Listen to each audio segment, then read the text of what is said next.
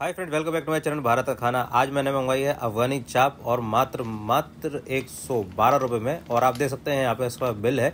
और एक काफ़ी ज़्यादा डिस्काउंट रेट में मिला है ये। और लोग जो कहते हैं कि बहुत महँगा मिलता है जोमेटो स्विगी से। बट मेरे को ये मिला है स्विगी से मात्र एक सौ बारह रुपये में। आप यहाँ पर देख सकते हैं सारे टोटल लगाने के बाद और डिस्काउंट कूपन लगाने के बाद। इसमें भी दिखा रहा है एक सौ पाँच बट प्लेटफॉर्म फ़ीस लगाने के बाद और काफ़ी सारे चार्जेस के बाद। ये पड़ी है मेरे को मात्र एक सौ बारह रुपये में अफगानी चाप। अगर आप वहाँ पे होटल में जाके लेंगे तो वही आपको पड़ेगी दो सौ रुपये की। और मैंने मंगवाई इस रेस्टोरेंट से। और आप देख सकते हैं इसकी पैकेजिंग काफ़ी ज़्यादा अच्छी की गई है और यहाँ पे गर्मा गर्म मेरे को घर पे भी डिलीवर हो गई है, क्योंकि ये मेरे घर से बहुत ही नज़दीक में है।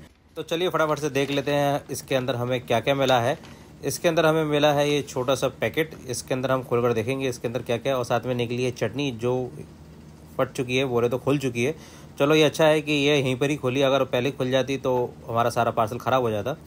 और साथ में आप देख सकते हैं कि चटनी का जो हल्का सा रिसाव है, वो पैकेट के अंदर हो चुका था थोड़ा सा। तो चलिए हम चटनी को सारा साफ़ कर लेते हैं और साथ में निकले टिश्यू पेपर, कुछ दो वुडन फोक निकले और साथ में मिला है हमें चिली फ्लेक्स, दो पाउच मिले, एक दूसरा हॉट चिली फ्लेक्स और साथ में मिला है हमें एक कंटेनर जिसके अंदर हमारी अफ़गानी चाप पैक होकर आई है। और आप देख सकते हैं इसके ऊपर भी चटनी हल्की सी फैल गई है तो चलिए इसको हम साफ़ कर लेते हैं। जैसे कि आप देख रहे हैं कि ये जो पूरा डिब्बा है, अच्छे से पैक किया गया, कहीं से भी लीकेज नहीं है। नो डाउट पैकेजिंग काफ़ी अच्छी की गई है और इसमें मेंशन है कि 500 हंड्रेड का कंटेनर है। बोले तो हमारी जो चाप आई है वो 500 हंड्रेड आई है या फिर उससे थोड़ी सी कम हो सकती है। तो चलिए हम इसका टेप हटा लिया। अब इसको हम खोल कर देख लेते हैं कि हमारी जो चाप है, वो कैसी है अफ़गानी चाप। तो आप देख सकते हैं कि इस तरह से इन लोगों ने इसको बनाया है और अफ़गानी चाप जो होती है, वो मैरिनेट होती है अच्छे से मसालों के साथ। ये क्रीम के साथ मैरिनेट करके इसको बनाया गया है और इसके अंदर और इसको अच्छे से तंदूर किया जाता है बाद में।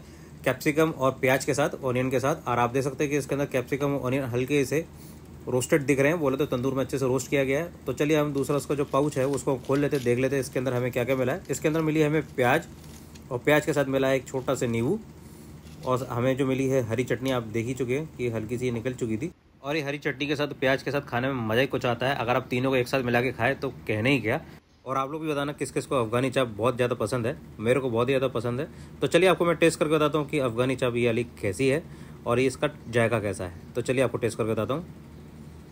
ये खाने में बहुत ही ज़्यादा टेस्टी है, मज़ेदार है, बहुत ही ज़्यादा यम है, अंदर से सॉफ्ट है और इसको बहुत ही अच्छे से मसालों के साथ और क्रीम के साथ इसको मैरिनेट करके तंदूर किया गया है।